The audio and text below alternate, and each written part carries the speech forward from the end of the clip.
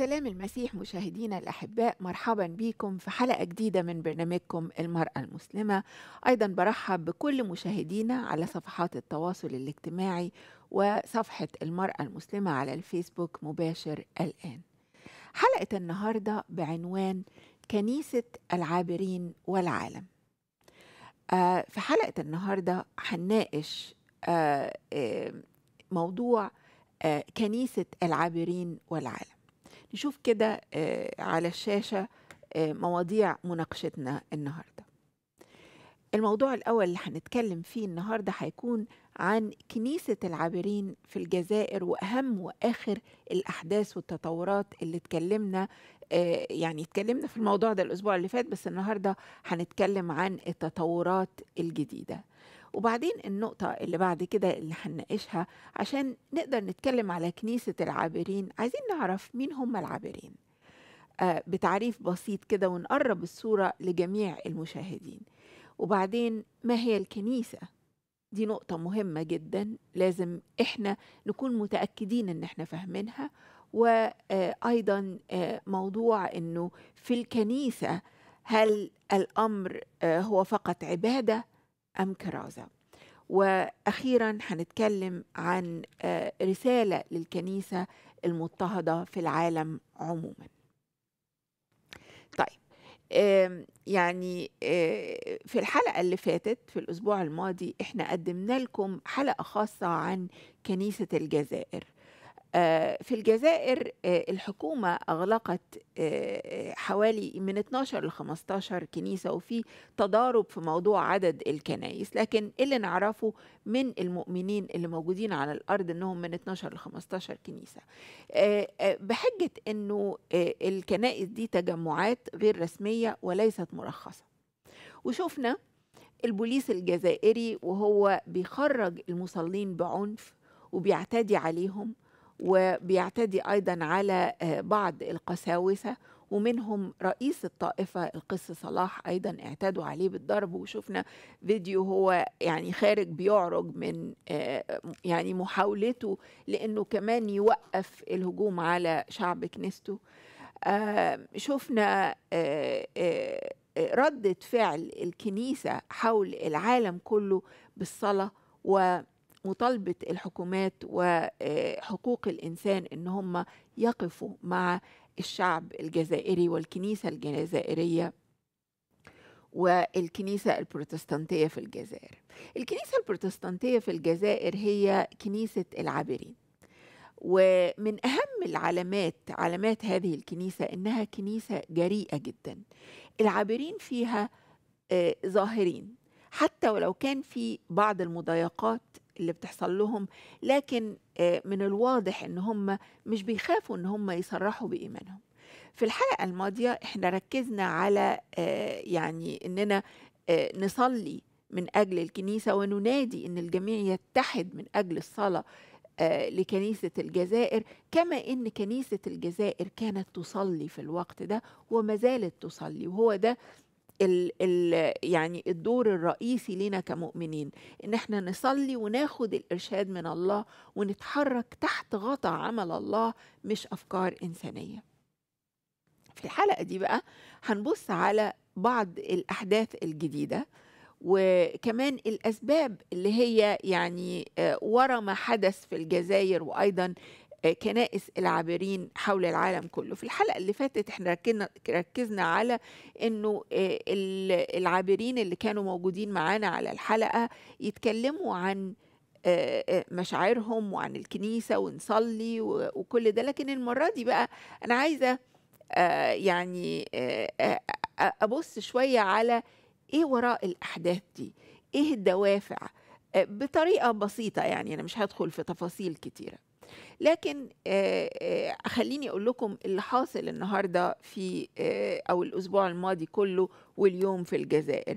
وصلتني رسالة من القس نور الدين اللي, كان معانا في الأسبوع شرفنا في الأسبوع الماضي و هو قس أو راعي كنيسة ينبوع الحياة بيقول إحنا بنثق في عمل الرب وبيطلب طلبة صلاة من أجل أنه هيكون هناك مقابلة بين وزير الداخلية والهيئات المنظمة للشؤون الدينية وإنه يعني ده لسه هيتحدد في المستقبل بس آه، آه، المهم إن إحنا نرفع آه، ال- ال- المقابلات دي في الصلاة ونصلي من أجل السلام بين الأطراف جميع جميع الأطراف المشتركة. وبيقول كده رسالة مهمة قوي إن إحنا نسمعها. بيقول كده القس نور الدين إنه كنيستنا تزعج عدو الخير ولكن النصرة من الرب والنصرة للرب. فإحنا خلينا نقف ونصلي قبل ما آه، آه، أكمل معاكم آه، بقية الأحداث. نقول لك رب إحنا بنشكرك لإنه فعلا أنت من تدافع عن أبنائك. أنت من تفتح ولا أحد يغلق وأنت يا رب من تتكلم يا رب بالسلام في وسط هذه الاجتماعات وأنت من تتكلم بالحق في وسط هذه الاجتماعات وأنت يا رب من تعلن خلاصك للمجتمعين جميعا يا رب وإنه أنت اللي تلمس كل مسؤول آه، بيتقابلوا معاه أعضاء الكنيسة إنك تلمسه بخلاصك وبغفرانك وبرحمتك وبمحبتك يا رب. أغدق على شعب الجزائر بخلاص يا رب آه، المئات الآلاف والملايين من شعبك في اسم يسوع. آمين. آه، أيضا في الأسبوع الماضي استمر الإخوة في تنظيم وقفات سلمية. شفناها آه، يعني آه، بصورة آه، بسيطة جدا زي اللي حصل وشفناه قبل كده. ماسكين اليافطات ماسكين ال- مطالباتهم في إيديهم وبيصلوا وواقفين بهدوء بيرنموا بيسبحوا فبيطالبوا فيها بفتح الكنائس وتقنينها في نفس الوقت استمر القادة في محاولاتهم للعمل مع القطاعات الحكومية كلها المسؤولة والتفاوض على إخراج ال- الإخوة آه، اللي محبوسين. لكن آه، الأهم بقى واللي أنا عايزة أشجعكم بيه النهاردة إنهم استمروا في الصلاة والاجتماع ككنيسة واحدة. الصلاة حتى أمام كنايسهم المقفولة. خلينا نشوف الفيديو اللي جاي ده ونشوف القس صلاح وهو بيختم صلاة في آه، آه، اجتماع. أنا يعني سمعت إنه آه، تقدروا تحطوا الفيديو وأنا بتكلم أنا سمعت إنه يعني ال- الأسس قالوا إحنا كنا بنعمل اجتماع واحد دلوقتي هنعمل اجتماع كل يوم هنصلي كل يوم وهنبارك الشعب كل يوم وهنجتمع كل يوم. يا رب أنا يعني قلبي مع إخواتي برفع أمامك هذه الصلاة. إنك أنت يا رب في اسم يسوع تعلن حقك على الجزائر وخلاصك لاولاد لأولادك. آه ال- القس صلاح آه بيصلي وإحنا شايفين إنه آه وراء المصلين والمسبحين ويعني اجتماع إخوة واجتماع جسد الرب الذي لا يحد بمبنى. مش يعني الحيطان ما تحدش اجتماعاتنا وما توقفش صلواتنا. وده مشهد واحد لكنيسة من كنائس العابرين اللي بتقف أمام العالم وتعطي مجدا للرب. شوفوا أنا قلت آه، إنه آه، آه، حلقة النهاردة اسمها كنيسة العابرين والعالم. لازم نعرف إنه لما الرب قال إن أنتوا أنتم لستم من هذا العالم إحنا عارفين إنه العالم بيقف ضدنا لأنه يقف ضد المسيح. والنهاردة شايفين المشهد ده. لكن العابرين يقفوا بسلام الرب يسوع ليباركوا الجميع ويسبحوا الرب ويقوموا بالدور اللي أعدهم ليه الرب في العالم كله مش بس كنيسة الجزائر. المشهد ده بالذات فكرني بمشهد في سفر أعمال الرسل. وأنا هقرأ لكم آه، آه، يعني المشهد ده من الكتاب المقدس من سفر أعمال الرسل آه، بطريقة مباشرة كده عايزاكم يعني اصبروا معايا وشوفوا كده آه، ال- المشهد اللي حاصل ده آه، شفناه على الأرض ولا لأ؟ وبيتكرر على الأرض ولا لأ؟ النهاردة في كنائس كثيرة جدا. بطرس ويوحنا آه، آه، قاموا بشفاء راجل مريض. أوكي؟ آه، ووقفوا بيخاطبوا الشعب. لكن لما بيقول كده ال- الكتاب في سفر أعمال الر- الرسل الإصحاح الرابع بيقول وبينما هما يخاطبان الشعب أقبل عليهما الكهنة وقائد جند الهيكل والصدوق والصدوقيون متضجرين من تعليمهم الشعب وندائهم في يسوع بالقيامة من الأموات. فألقوا عليهما الأيادي وضعهما في حبس إلى الغد لأنهما لأنه كان قد صار المساء. وكثيرون من الذين سمعوا الكلمة آمنوا وصار عدد الرجال نحو خمسة ألاف. أنا بقول لكم النهاردة إن كتير من اللي شافوا هذا الاضطهاد في اسم يسوع يأتوا لخلاص ومعرفة المسيح ويسألوا مين اللي يستاهل إني أقف له كده؟ مين اللي يستاهل إني أجاهر بمحبته بالشكل ده؟ هو يسوع المخلص وحده ومفيش حد غيره. نكمل المشهد ده اللي أنتوا شفتوه زي ما هو بيتحقق على الأرض هنا كان في بداية الكنيسة الأولى. بيقولوا كده وحدث في الغد ان رؤسائهم وشيوخهم وكتبتهم اجتمعوا إلى أورشليم مع حنان رئيس الكهنة وقيافة ويوحنا والإسكندر وجميع الذين كانوا من عشيرة رؤساء الكهنة. أنا عايزة أقول لكم حاجة إنه الكهنة في الوقت ده ما كانوش يختلفوا عن رؤساء البلديات ولا الحكومات اللي إحنا بنواجهها النهارده. ما يختلفوش كتير. الجميع لا يعرف معرفة لا يعرف يسوع المسيح ولا يقبله مخلص كلهم مش فاهمين. كلهم مش عارفين من هو الإله الحقيقي. أوكي؟ أم ولما أقاموهم أقاموهم في الوسط اللي هو بطرس ويوحنا جعلوا يسألونهما بأي بأي قوة وبأي اسم صنعتما أنتما هذا؟ حينئذ امتلأ بطرس من الروح القدس وقال لهم يا رؤساء الشعب وشيوخ إسرائيل وإن كنا نفحص اليوم عن إحسان إلى إنسان سقيم بماذا شفي هذا؟ فليكن معلوما عند جميعكم وجميع شعب إسرائيل إنه باسم يسوع المسيح الناصري الذي طلبتموه أنتم الذي أقامه الله من الأموات. بذاك وقف هذا أمامكم صحيحا. إذا كنتم واقفين بلغتنا بقى النهاردة إذا كنتم واقفين بتتعجبوا من المعجزات والرؤى والأحلام والعجائب والشفاء الذي يحدث داخل الكنيسة اللي بيغير الملايين من البشر النهاردة إحنا عايزين نقول لكم إن إحنا مش خايفين نقول لكم الحقيقة الحقيقة إنه فقط بيسوع المسيح الناصري شافي القلوب وشافي الأرواح نفعل هذا باسمه فقط. باسمه نقف ولا نخاف ونتك ونتكلم كلمات الحق. عشان كده المشهد ده لسه موجود على أرض كنيسة الجزائر. أوكي؟ أم فالرؤساء بقى بيقول لما رأوا مجاهرة بطرس ويوحنا وجدوا أنهما إنسانان عديم العلم وعميان يعني ناس بسطة اتعجبوا فعرف إن فعرفوهما أنهما كانا مع يسوع. ولكن إذ نظروا الإنسان الذي شفي واقفا معهم لم يكن لهم شيء يناقضون به. يعني أنتوا شايفين أن إحنا ناس بسطة وما حلتناش حاجة نقولها ولا علم ولا أي حاجة. لكن الروح القدس اللي موجود في, في وسط شعبه والروح القدس اللي بيتكلم من خلال العابرين في كل مكان في العالم النهارده هو اللي بيتكلم مش إحنا. عمل الله الظاهر فينا هو اللي بيتكلم مش إحنا. وده برضو نفس المشهد اللي شفناه. في الآخر يعني آآ آآ قالوا كده علشان ما تشعش الفكرة أكتر لنهددهما وتهديدا أن لا يكلموا أحد من الناس فيما بعد بهذا الاسم. فدعهما وأوصاهما أن لا ينطق البتة ولا يعلم باسم يسوع. فأجابهم بطرس ويوحنا وقال إن كان حقا أمام الله أن نسمع لكم أكثر من الله فاحكموا. هنسمع لكم أنتوا ولا نسمع لله؟ لأننا نحن لا يمكننا أن, نتك... أن لا نتكلم بما رأينا وسمعنا. وبعدما هددهما أيضا أطلقوهما إذ لم يجدوا البتة كيف يعاقبوهم بسبب الشعب؟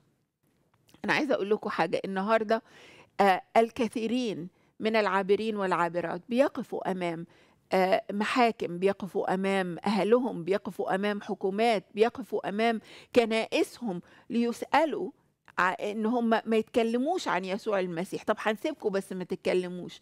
لكن هل نتبع الحق ونتبع ونفعل ما يقوله الله أم البشر. هل نكرز باسمه كما علمنا أم نسمع للبشر؟ ده سؤال كل عابر يسأله لنفسه كمان وكل عابرة تسألها لنفسها لأن إحنا مسؤولين عن إننا نشهد بالحق ليسوع المسيح. حتى ولو وقفنا قدام سلطان يتجبر علينا.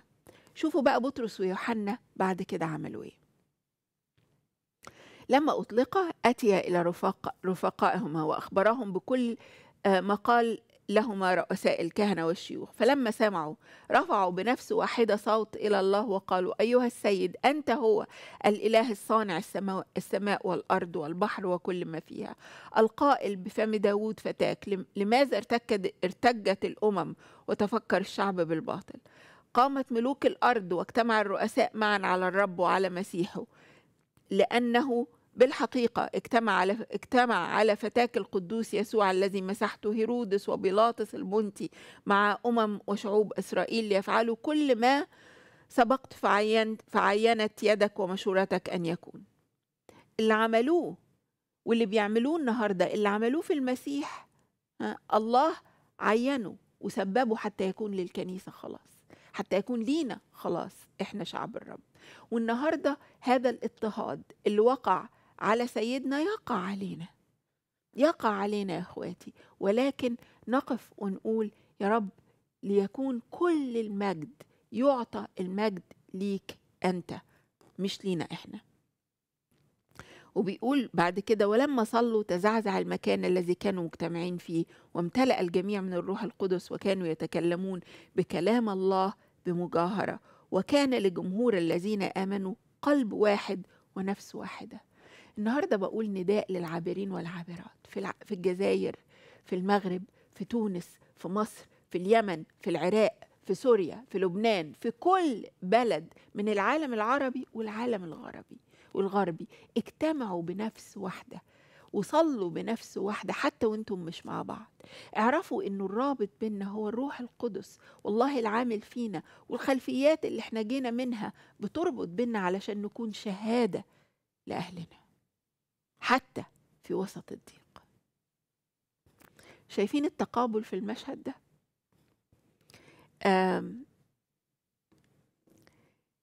النهارده آه عايزة أقول إنه يعني نفس المشهد اتكرر في الجزائر. دي كانت الكنيسة الأولى لكن نفس المشهد بيتكرر النهارده آه آه مش بس في الجزائر زي ما قلنا لكن في أنحاء العالم اجمع اللي شفناه أمام الشاشات ده موقف كتابي. ينبغي أن يصلى كل حين ولا يمل ولا نخاف من من من يقتلون الجسد بل نبارك من يقف ضدنا ويؤذينا ونسعى آه، لأن تصل كلمة الله للجميع. وأيضا نواجه بكلمات الحق اللي هي كلمات الرب يسوع. في الأسبوع الماضي قدمت لكم آه، آه، نداء من القس صلاح رئيس الطائفة البروتستانتية والنهاردة حابة أشارككم باللي هو نشره آه، عن تطورات الوضع وطلبات الصلاة حتى نستمر إننا نصلي مع الكنيسة ونصلي مع إخواتنا في الجزائر بنفس واحدة كما يقول الكتاب. خلينا نشوف الفيديو القادم. وأنا هقرأ لكم هي الرسالة بالفرنسية لكن أنا آه، هقرأ لكم الرسالة بالعربي. اسمي صلاح شلاح وأنا القس للكنيسة الإنجيلية في تيزي اوزو رئيس آه، الكنيسة الإنجيلية الجزائرية. يا ريت توطوا الصوت شوية. من خلال هذا التسجيل الصوتي أود أن أعلمكم وأؤكد لكم أن مؤسستنا أو كنيستنا البروتستانتية الجزائرية قانونية. وموثقة منذ عام 1974 وحتى يومنا هذا هي تتبع القانون الجزائري الديمقراطي والعالمي. البعض يتساءل عن وضعنا القانوني كمجتمع وكنيسة محلية تابعة للكنيسة البروتستانتية الجزائرية. ولكني أؤكد لكم أننا نعمل بحسب القانون منذ أكثر من عشرين سنة توافقا مع الدولة والمجتمع المدني والكنيسة البروتستانتية الجزائرية مؤلفة من أربعة أو 46 مجتمع منتشرة في جميع أنحاء البلاد.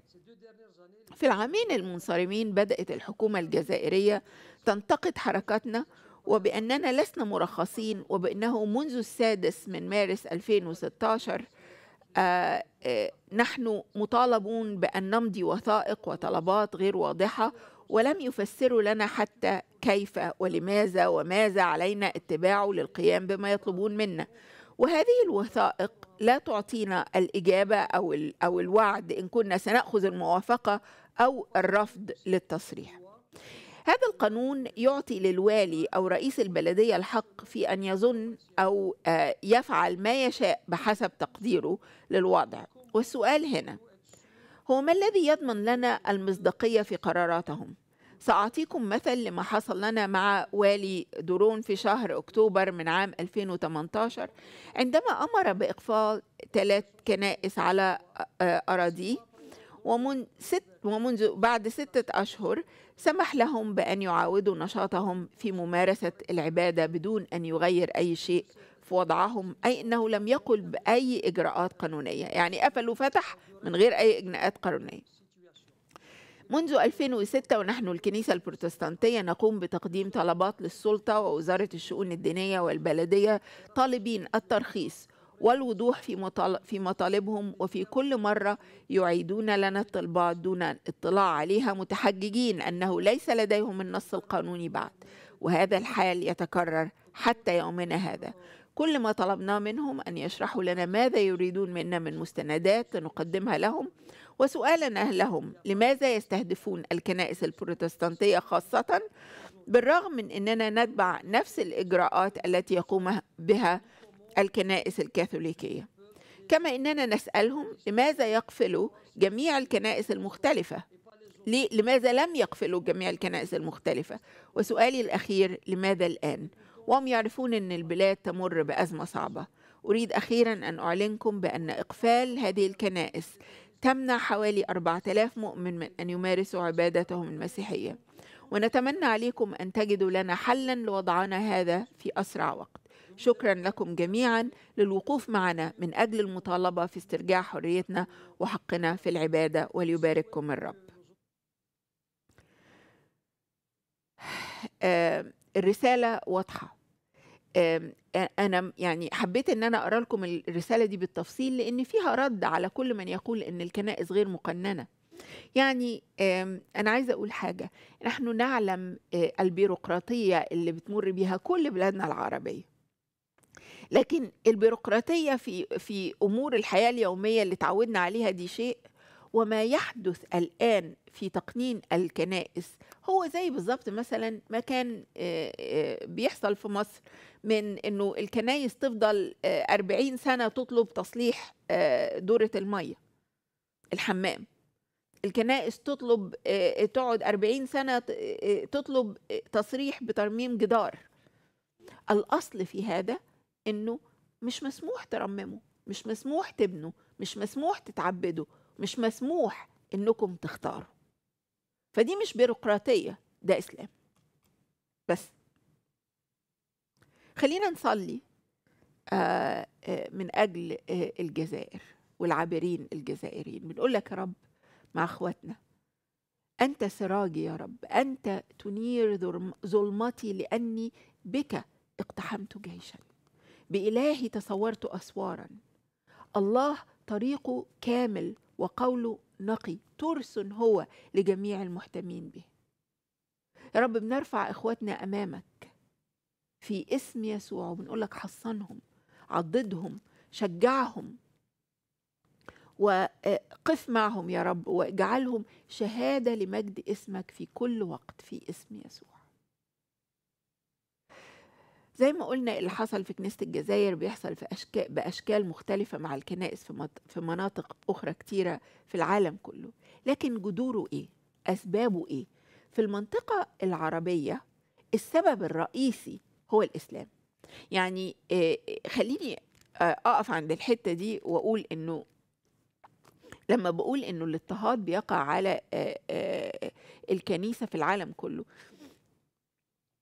أنا آسفة يعني أنتوا عارفين انه في الصين مثلا في في اضطهاد كبير للكنيسة في كوريا في اضطهاد كبير للكنيسة في باكستان في اضطهاد كبير للكنيسة في أسباب مختلفة أسباب سياسية أسباب دينية لكن هنتكلم عن المنطقة الإسلامية والعالم الإسلامي. في منطقتنا السبب الرئيسي هو الإسلام ثقافته تعليمه أدواته كلها هذه الأدوات الإسلام بيستخدم كل الأدوات المتاحة للسيطرة على عقول وحياة البشر الواقعين تحت سيطرته.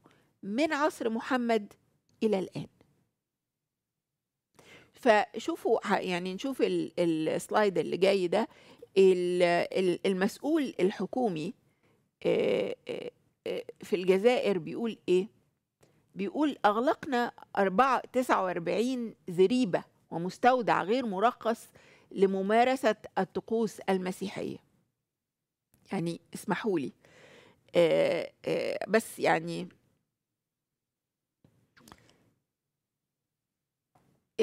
عايزة أقف اعلق على التعبير اللي هو قاله ده وتعليقات الناس عليه.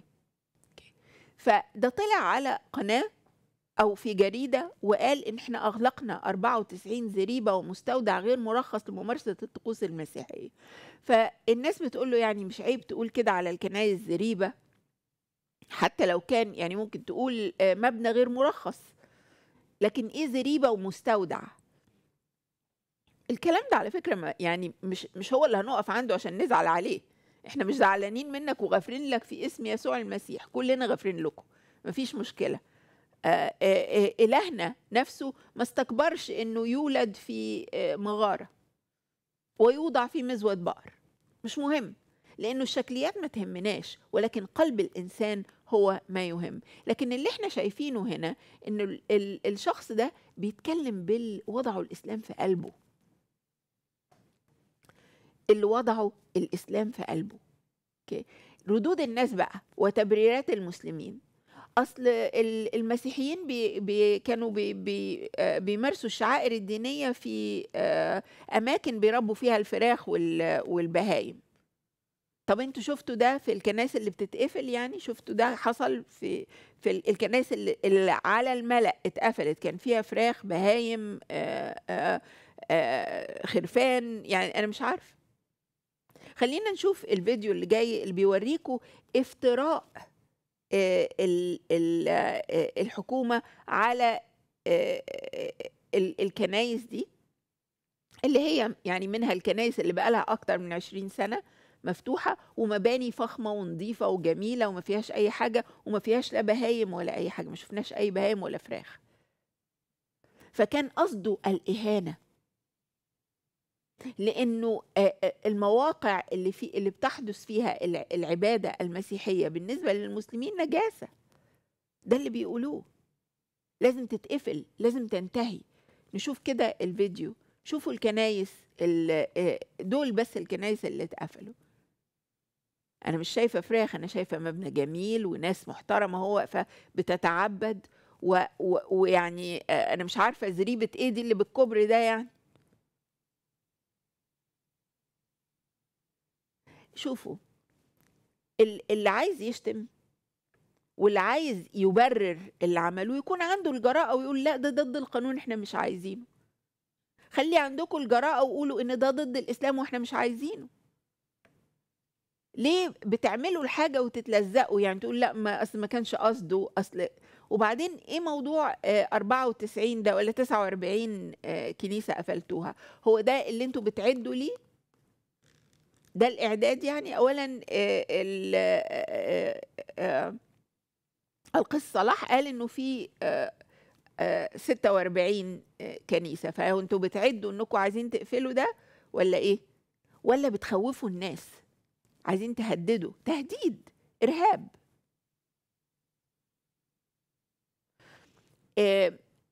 ده كذب ولا دي رؤيتكم الحقيقية؟ يعني انت بتشوه فكر مجتمع بحاله. الشيوخ بقى وفجاجة التصريحات اللي بي بي بي يعني بي بيصرحوا بيها عن انه الكنائس كذا والكنائس كذا وده لازم يتقفل وده واجب وشرع ومش عارف إيه. ف دي دي غلطة الشيوخ. ولا غلطة الحكومة ولا على الأصل الأصل دور بقى. أرجع بقى الأصلي المصري أقول لكم على الأصل دور. عارفين الغلطة منين؟ من محمد. من من أصل الإسلام من تعليمه من اخرجوا اليهود والنصارى من هنا. هي هي جت من هنا أوكي؟ فخلينا نشوف الفيديو اللي جاي ده واسمعوا كده آه، الشيخ ده اولا الفيديو كامل موجود على صفحة المرأة المسلمة لكن اسمعوا كده الشيخ ده بيقول إيه. اتفضل غلق الكنائس واجب بالكتاب والسنة وإجماع الصحابة. ولا نفرق بين كنيسة رسمية وكنيسة غير رسمية. هذا حكم الشرع. أجمع علماء الإسلام. كما اتفق أصحاب المذاهب الأربعة. أنه أيما كنيسة بنيت بعد الفتح الإسلامي فإنها تهدم أصلا. الكنائس بيوت الشيطان ليست بيوت الله. هذه بلاد الإسلام. فتحها المسلمون. طيب شفتوا إزاي؟ غلق الكنائس واجب بالكتاب وبالسنة وبإجماع الصحابة. عارفين ليه بإجماع الصحابة؟ علشان الصحابة مش بس محمد يعني اللي عملها هو وصى إنه تخرجوا كل اليهود والنصارى. مش كده؟ لكن بعد كده عمر عمل إيه؟ عمر إدى العهدة العمرية. مش كده؟ شوفوا الحديث ده عن أبي هريرة وعن رسول الله بيقول كده والذي نفس محمد بيده. لا يسمع بي أحد من هذه الأمة. يهودي إلا قال ولا نصراني آآ آآ ولم يؤمن بي أو بالذي أرسلته إلا إلا كان من أصحاب النار. تهديد. إذا أنتوا ما أمنتوش أنتوا هتبقوا من أصحاب النار. ما عندكوش اختيار تاني. وبص بقى يقول إيه ده إجماع بالسنة ومش عارف إيه والصحابة واتكلم بقى هو بعد كده قال لك عمر وده وده وكل القرارات مش مسموح لكم إنكم تبنوا أو إنكم ترمموا. لا بالعكس ده أنتوا لازم تهدموها تهدموا الكنائس. ده الإسلام. وبيقول لك مش مفيش فرق بين كنيسة رسمية أو غير رسمية هو كله لازم ما يكونش موجود. هذا حكم الشرع. أنا بقول أهو كلامه. وبعدين بيقول كده الكنائس بيوت الشيطان. طب أنا عايزة أسأل حضرتك يعني أنا خدت الحتة دي بالذات لأنها الحقيقة يعني وقفتني شوية. على أي أساس بتقول أن الكنائس بيوت الشيطان؟ حط الجامع جنب الكنيسة وخد وعظة الجامع وخد وعظة الكنيسة. من الذي يدعو للقتل والهلاك والإرهاب والتقصير في حقوق الناس وكل ده؟ في الجامع ولا في الكنيسة؟ من الذي يدعو بالبركة ومحبة الآخرين والغفران والسلام والخلاص والمحبة والله محبة؟ الكنيسة. إذا فين بيت الشيطان هنا؟ كلام الشيطان الموجود في القرآن هو ما يقرأ في الجوامع. اللي بيتكتب لي كل يوم مثلا على الفيسبوك عشان إحنا بنقول إنه يعني اللي بيحصل ده غلط أو إنه ابحث إذا كان القرآن ده أصله صح ولا أصله غلط وابحث عن الله الحقيقي. فيقولوا لي بقى إنه تقطع الأوصال ومش عارف إيه وده ده جزاء الذين كفروا. التكفير. مين اللي بيتكلم هنا؟ ده شيطان ولا ده إله؟ وروح الكنيسة وشوف اللي بيتكلم ده شيطان ولا إله. شوف كده الناس وهي خارجة من الكنيسة بتهلل وتسبح وفرحانة وتبارك الآخرين والتانيين خارجين يعني يعني مش عارفين مش طايقين نفسهم. مين اللي بيخرج بعد خطبة الجمعة يروح يقتل له اتنين تلاتة في القرية ولا يعني؟ يا جماعة خلي يعني عندنا شوية تمييز روحي. وبعدين يقول بمنتهى الجراءة هذه بلاد الإسلام فتحها المسلمون تقصد اغتصبها المسلمون. هي ليست بلاد الإسلام لكنها لكنها بلاد ال ال الله والسكان الأصليين. إذا كان في المغرب ولا الجزائر ولا مصر كانوا السكان الأصليين مسيحيين. فهي مش بلاد الإسلام هي بلاد المسيح وتعود للمسيح في اسم المسيح. خليني اخد مكالمة. الأخ جرجس أهلا بيك أخ جرجس اتفضل. سلام يا أخت أماني سلام ونعم ربنا يحافظ عليكي ويباركك. ويستخدمك لمجد اسمه أشكرك. أنا بس عايز أقول لوزير داخلية الجزائر اللي بيقول أغلقنا 49 زريبة في الجزائر للمسيحيين. أنا بس عايز أقول له حاجة بسيطة. فرنسا المسيحية استعمرت الجزائر وبلاد المغرب العربي وبلاد الشام 130 سنة. هل فرنسا عملت زي ما أنتوا عملتوا اللي هي الثلاث اختيارات يا الإسلام يا الجزية يا القتل؟ ما نعم. حصلش. محدش ارغمكم ابدا بالقوة. يعني كان في إمكانها. كان في نعم. جيش قوي جدا موجود. كان في إمكانها ترغمكم بالعافية زي ما أنتوا عملتوا. إنكم يا تقبلوا المسيحية يا تقتلوا. ما حصلش كده. بالعكس يا الدول المسيحية كانت بت- بت- بتحمي المساجد. كل الدول المسيحية في العالم كله بتسمح ببناء المساجد وبتحميها. انت عندكم عقدة؟ هل الإسلام ضعيف إلى هذه الدرجة؟ لدرجة إن بضعة آلاف مثلا في الجزائر هيقدروا يهزوا ملايين الجزائريين المسلمين أو المغاربة أو التوانسة نعم. أو أي بلد إسلامية في باكستان أو غيرها معناها إن الإسلام بتاعكم ضعيف جدا. بيبتعد من وجود ناس مؤمنين بيتكلموا باسم المسيح. خايفين ليه؟ لو أنتوا إسلامكم قوي خايفين ليه؟ مش عارف. وبعدين الأخ اللي بيقول لك إن الشرع بيقول إن الكنائس بيوت الشياطين. ده مش آية القرآن.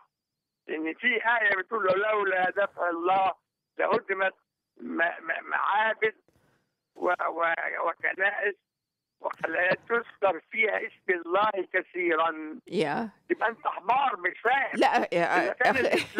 بص بص يا تذكر بولس. أخونا بولس؟ اسمعني بس اسمعني اسمعني. ام sorry اخ أخونا جرجس معلش بلاش نغلط فيهم. هم هم غلطين بس إحنا ما نغلطش. لا أنا قصدي أنا يا، أنا لما فهمت. بقول فهم بقول حمار مش قصدي على أنا قصدي مش فاهم. يا مش فاهم دينه حتى. يعني ده كان دينك ما بيقولكش كده. ما هو بيع آه هذا الدين آه إزاي تقول يذكر فيها الشيطان مش فاهم. طيب مش إيه عارف. بص شوف هو إيه إيه يعني كل واحد آه، الكتاب بيقول إنه ال- آه، من فضلة ال- القلب يتكلم اللسان فإحنا فاهمين لكن إحنا نبارك و آه، و- ومع ذلك نتكلم ونقول الحق زي اللي بنعمله النهارده فكون إن حد يجبرك إنك تكون آه، تعتنق دين دي ما هياش موجودة في المسيحية ابدا لأنه المسيحية حياة مع المسيح مركزها المسيح. الرب يباركك ويستخدمك. شكرا على تعليقك. آم، شكرا. في آه، آه، تعليق على الفيسبوك. يعني واحد آه، آه، أعتقد إنه آه، شخص مسيحي بيقول كده لا مجال للبروتستانت في الجزائر. أعتقد إنه إحنا في الكنيسة آه، يعني يعني أنا عايزة أقول حاجة آه، الكنيسة يجب إنها آه، تقف وتفحص التعليم في في موضوع الفرق بين الطوائف. والنهاردة أما أخ أو أخت لأنهم بروتستانت واقفين في يعني في مركز اضطهاد ف يقول واحد مسيحي كده إنه لا مجال ليهم لانهم لا يتفقوا معايا في الطائفة. أعتقد إنه لازم يكون في حالة من التوبة آه، لأن اللي أنت بتتكلم عنه ده بيرفع اسم المسيح وبيكرز باسم المسيح ويراق دمه من أجل المسيح. المسألة مش بروتستانت وكاثوليك وأرثوذكس. عشان كده المسلمين بيستخدموا دي ضدنا. وبيخلوا الكنيسة الكاثوليكية ما هياش ملموسة علشان يضربوا الكنيسة البروتستانتية فنضرب إحنا في بعض. لكن إحنا باسم يسوع المسيح لن نقف في هذا آه، يعني الطابور ده مش بتاعنا. إحنا العابرين النهارده بنقول باسم يسوع المسيح إن إحنا نقف لنساند كلمة الحق ونساند بعضنا بعض ونساند الكنيسة بأكملها. طيب. ال ال ال الأستاذ الشيخ ده بقى بيقول لك إيه آه يعني من ساند المرتدين حكمه حكمهم هو كافر. خلينا نشوف ال slide اللي جاية ده. ال slide اللي جاي ده آه، آه، كان يعني وضع مثلا من حوالي أسبوع لما آه، المسلمين خرجوا يدقوا ال- النواقيس والهون ده اللي بنقول عليه بالمصري كده يدقوها علشان يعني يعملوا وقفة مع أخواتهم المسيحيين ويقولوا ما تقفلوش الكنايس. فواحد طالع يقول لهم إن إذا أنتوا وقفتوا معاهم فأنتوا زيكم زيهم أنتوا كفار.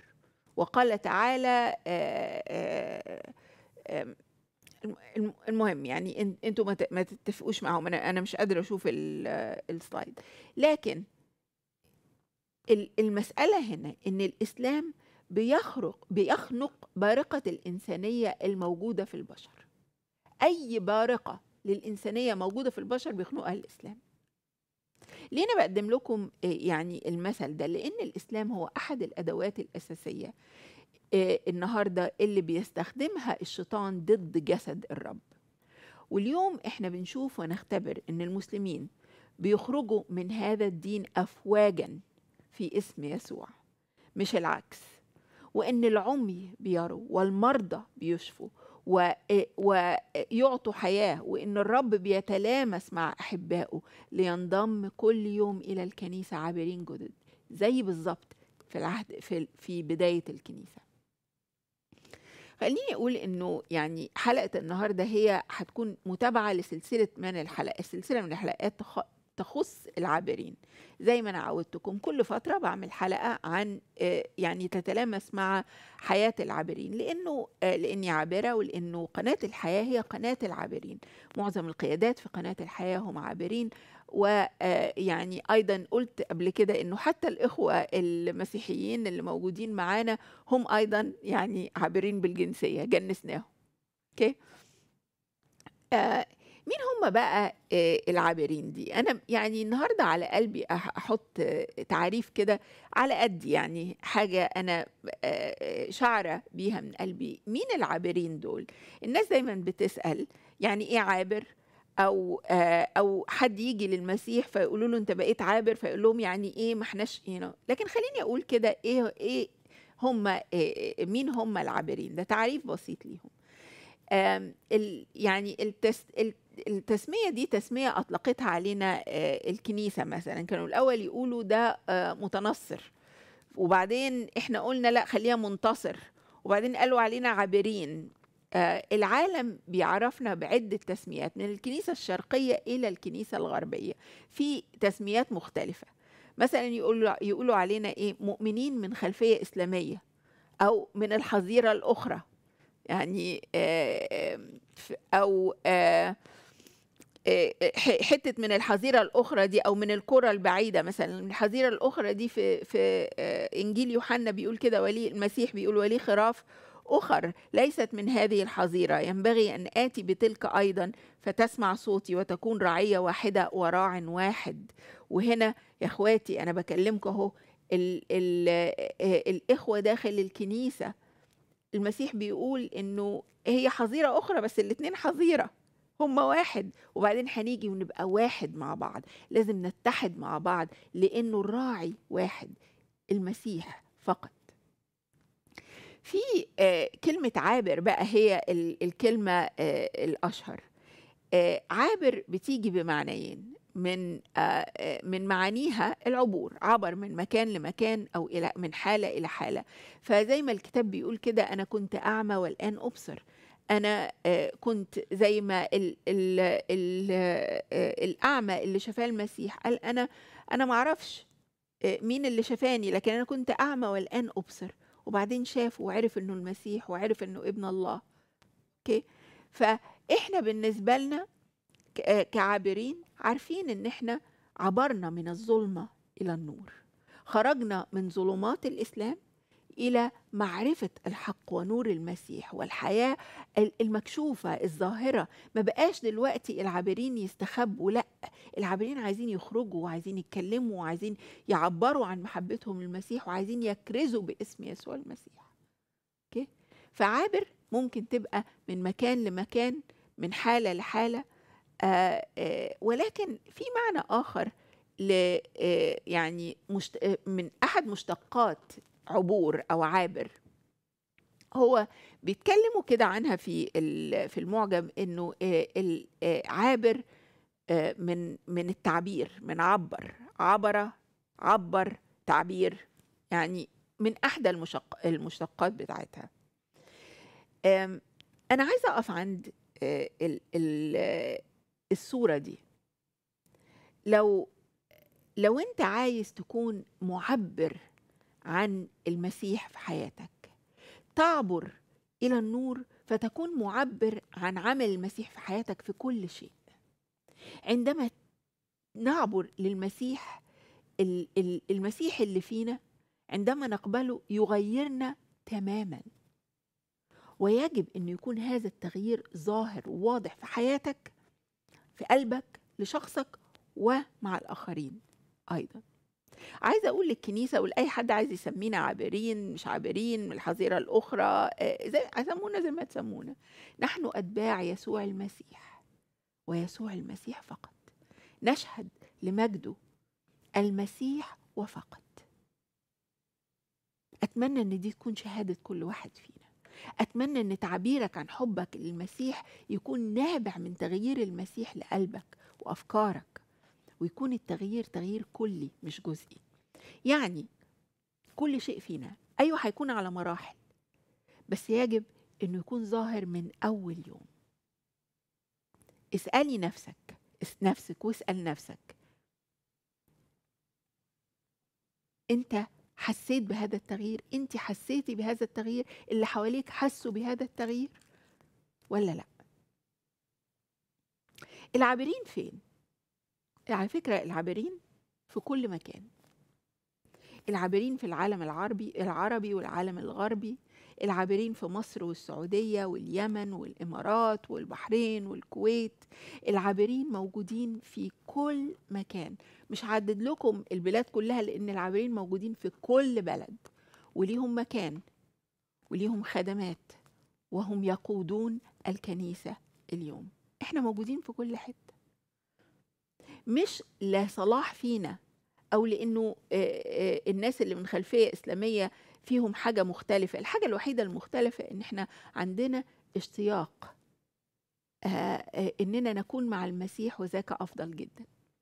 فإذا متنا نموت للمسيح وإن عشنا نعيش للمسيح. بس هما موجودين في كل مكان.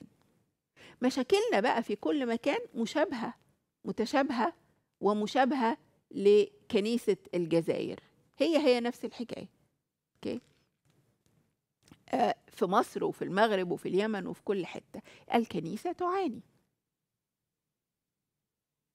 ولازم نعرف إن هناك كنائس للعابرين تعيش صعوبات كت- كتيرة لكن بتعيش حياة خصبة وحية مع الرب زي كنيسة إيران. كنيسة إيران بتعيش تشهد للرب يسوع في داخل إيران. عاملين زي آه، يعني مش عارفة أقول إيه الطابور الخامس كده منتشرين في كل حتة. تقبل المسيح البنت من دول تقبل المسيح وتبقى شهادة على طول في ساعتها. تفتح كنايس بيتية على طول في ساعتها. بيتولدوا في المسيح قابلين لأنهم يأتوا بآخرين. ليه؟ لأن الكنيسة في إيران ها، حاطه عينيها على المجد السماوي مش الارضي وأنا بقول لكل عابر وعابرة النهارده ما تبصش حواليك بص فوق. بص فوق. النهارده ممكن يكون عندك آه، آه، وقت تكرز جوه بلدك. استخدمه. واحد من العابرين في مصر اتواصل معايا وهو بيقول يا ريت يكون في حق للمواطنة آه، للعابرين في كل أنحاء العالم واعتبارهم مسيحيين أصليين مش خارجين عن الدين. أنا عايزة آه، أرجع تاني لمثل كنيسة آه، إيران. آم، ال- ال- كنيسة إيران الوطن بالنسبة لهم بعد معرفتهم المسيح أصبح وطن سماوي. فإحنا نحب بلادنا ونصلي من أجلها لكن للمسيح. وابني للمستقبل لكن من منظور الله. نفتكر إنه أنتم لستم من هذا العالم. وما يحدث في حياتك وحياتي يصبح يثبت ليك إنه إحنا آه، آه، العالم ما. ما بيقبلناش لأننا أبناء العلي ندعى الكنيسة الأولى لما شفنا في الكنيسة الأولى إزاي ابتدت هل في الكنيسة الأولى التلاميذ قعدوا يخططوا إزاي يقبلوا في بلادهم؟ إزاي يعملوا قوانين علشان يكون ليهم حقوق في بلادهم؟ اقروا أعمال الرسل اتنين. أوكي؟ أنا ما عنديش وقت يعني آه، أقرأ ده. لكن اللي حصل إنه بطرس وقف آه، آه، ورفع صوته يا أيها الرجال اليهود والساكنون في أورشليم أجمعون ليكن هذا معلوما عندكم واصغوا لكلامي. وابتدى يتكلم عن المسيح. وقف بشر آلاف من الناس عرفت المسيح. التلاميذ أيضا ما بصوش للمؤمنين اللي حواليهم والجدد وقالوا إحنا المسيحيين الأصليين. ليه؟ لأنه كلهم كانوا جسد واحد. كلهم كانوا خارجين عن الدين. والمجتمع المتدين والمتشدد اضطهد الجميع. زي ما بيحصل. الكنيسة الكاثوليكية والكنيسة الأرثوذكسية والكنائس القديمة كلها تضطهد. اضطهاد شديد في العالم الإسلامي. زي ما بيضطهدونا بالظبط. بس إحنا آه، يعني يعني أ- أقوى شوية عشان إحنا مرتدين. بس بس أنتوا برضو بتقتلوا برضو يعني. أنتوا برضو بتعانوا برضو. الكنيسة مضطهدة برضو. فيا كنيسة يا المسيحيين اللي بيقولوا إحنا المسيحيين الأصليين النهارده الرسل ما قالوش كده. الرس- الرسل قالوا إحنا جسد واحد. اضطهدوا وقتلوا وحوربوا وقال عنهم الكتاب إنهم فتنوا المسكونة. للمسيح. للمسيح. بصلي إن الله يبكت قلوبنا جميعا النهارده إن إحنا نفتن المسكونة للمسيح. بدل ما نتخانق مين أحسن ومين القبل. لما خرجوا خرجوا حاملين رسالة. وكان ده هو الهدف. بس ما نسيوش أورشليم. بدأوا بيها. وكانت الرسالة هي أول وآخر أهدافهم. دي الكنيسة الأولى. بيقول الكتاب وكان الرب كل يوم يضم للكنيسة الذين يخلصون. عارفين ده بيحصل فين؟ في إيران في الجزائر في مصر. كنيسة لا تفكر في حق أو مكان عبادة بل حياة كارثة. واحدة شفت فيلم عن آه، كنيسة إيران فواحدة بتقول كده لما اتقابلت مع الستات اللي بيقودوا الكنيسة في إيران قالت اتهزت لأنها عرفت إنه الستات دول كانوا معاه عايشين معاه. هي دي كنيسة الأيام الأخيرة. عايزة أقول لكم ببساطة. يعني إيه كنيسة؟ الكلمة دي مشتقة من كلمة آه، إكليسية الكلمة اليونان اليونانية. يعني تجمع أو جماعة أو المدعوين. دول the called out ones. المدعوين. هي دي الكنيسة. مش الكنيسة كمبنى. كنيسة كمبنى ده تحوير للمعنى الحقيقي. أنتم مختارين الرب أو جسد الرب. هم دول اللي بيمثلوا الكنيسة. زي ما بولس الرسول كده قال عن أكيلا وبرسكيلا والكنيسة التي في بيتهم اللي هم الجسد الرب الشعب اللي بيعلموهم اللي بيتلمذوهم. ومن هنا هقول ختامي بكلمة تشجيع وكلمة حق للكنيسة المضطهدة في الجزائر وغيرها في البلاد ال- آه، الاضطهاد.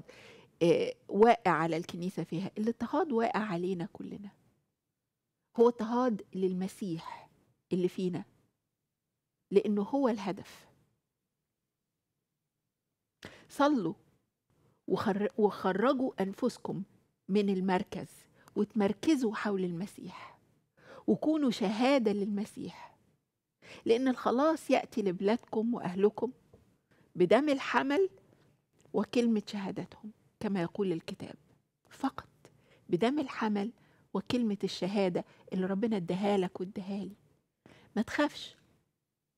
لأنه آه، مش الكتاب بيقول لنا ما نخافش من اللي بيقتلوا الجسد. ما نخافش. ما لهمش سلطان علينا. لا نهتم أن ندافع لا نهتم أن آه، آه، يكون لنا مراكز أو قوانين أو مقننين. مش هنهتم لإغلاق مجال مباني.